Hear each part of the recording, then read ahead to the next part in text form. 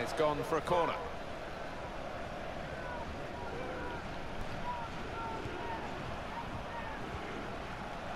It's Messi. And here's the cross. And heads towards goal.